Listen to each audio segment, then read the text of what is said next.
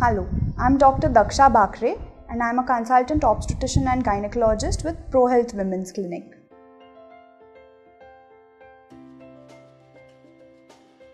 Intrauterine insemination is a process wherein the processed semen sample is inserted directly into the uterus to cause a pregnancy.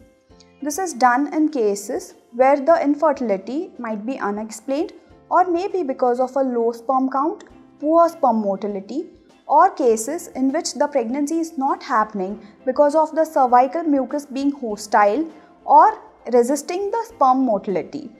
In this process, the semen sample is collected in the laboratory.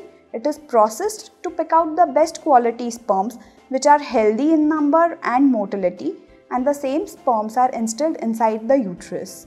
What is the success rate of IUI? It depends on the case. If there are multiple factors causing the infertility, the success rate may come down to even 2 to 5%. If it's because of the factors that I enlisted above, the success rate can be as high as 15 to 30%.